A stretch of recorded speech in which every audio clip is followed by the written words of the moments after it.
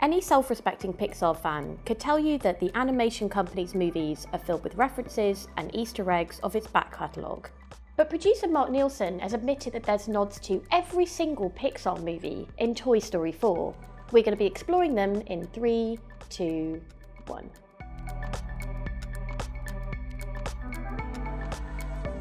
As usual, we will be issuing a spoiler alert because we're about to be revealing some details from the film. The movie opens with a flashback to nine years ago, explaining the absence of Bo Peep from Toy Story 3. She was last spotted singing with Woody, Buzz, Jessie, and Wheezy in Toy Story 2, but fans complained that it wasn't clear whether she'd been broken or was donated. Outside, the license plate on the car is RMR F97. License plates have been used in Cars and Toy Story 2 to mean a whole range of things. This one refers to when Toy Story 2 was accidentally deleted from Pixar's edit system. RMR F97 was the command on the computer that deleted the film, which had to be restored using a backup file. Bo Peep assists Woody in rescuing RC from a storm drain. A card is passed through the group to use as a launch pad. On this card is a crude drawing of Rainbow Unicorn from Inside Out. You in Fairy Dream Adventure Part 7. Okay, bye. are a toy. You belong to Bonnie. Take a closer look at the boxes at the back of the classroom when Bonnie creates Forky. One of them belongs to Anton, a possible reference to food critic Anton Ego in Ratatouille. Bonnie's room has some similarities to the wallpaper in Andy's room in Toy Story, and later in the film, we see a bedspread full of Pizza Planet style rockets that are the same as in the original movie. The van that the family goes on vacation in is a Tri County RV. This links to references to Tri County International Airport in Toy Story 2 and Tri County Landfill in Toy Story 3.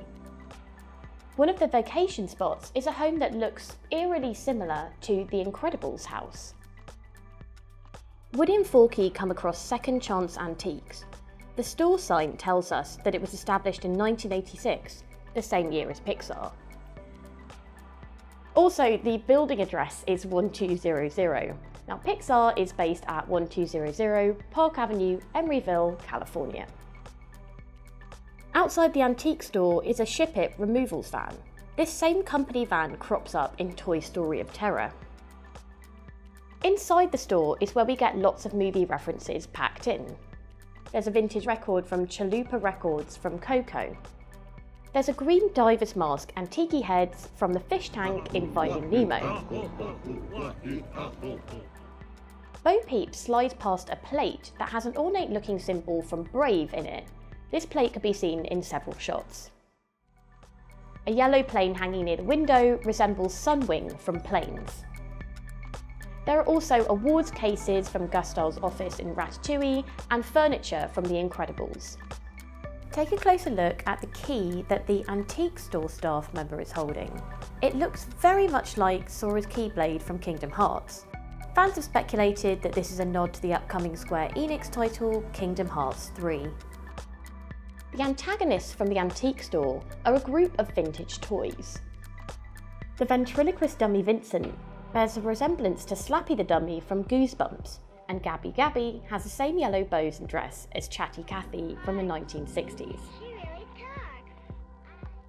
Here's where The Shining comes in. From carpets to garbage truck license plates, Stanley Kubrick's film has made an appearance in many Toy Story movies. A record is put on playing Midnight, the Stars and You, as performed by Ray Noble and his orchestra.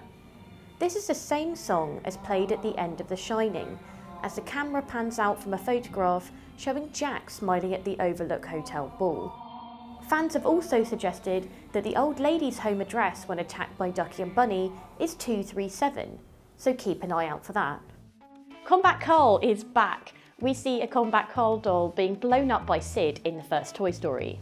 This version, though, is a Carl Weathers lookalike from Toy Story of Terror. Rumour has it that John Lasseter wanted to use a G.I. Joe doll in the original movie, but Hasbro was upset that the doll would be blown up, so they agreed to make up a brand instead. Buzz flies into a purple and yellow spider like ride that has the same colour palette as Zurg, his enemy in Toy Story 2. There's a spinning ride next to the Ferris wheel with a purple and yellow umbrella structure. This looks exactly like the Sundrop flower from Tangled. A stall is called Jetstream, echoing the character alias Strut Jetstream.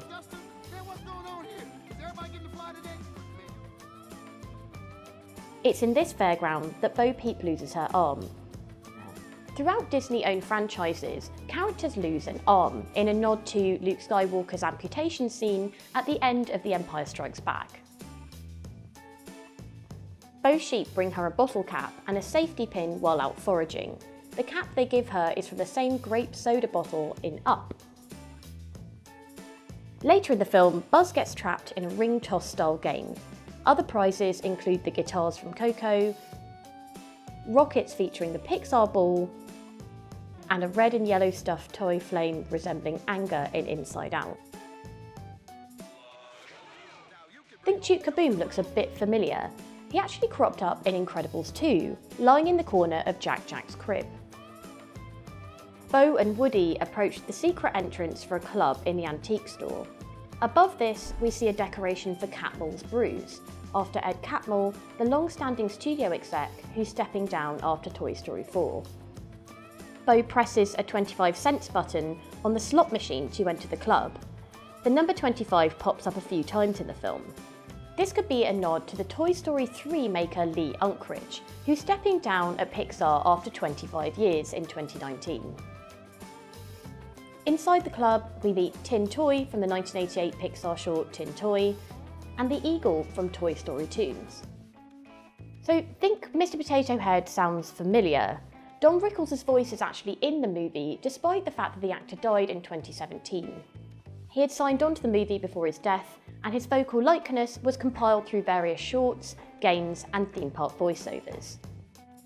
And yes, we found A113, it's a door number from the California Institute of Arts, and it's a number that crops up in nearly every single Pixar movie. Also, did you spot Dinoco Gas? The RV stops there. It's the same chain of gas stations that Woody and Buzz get stranded at in the original Toy Story.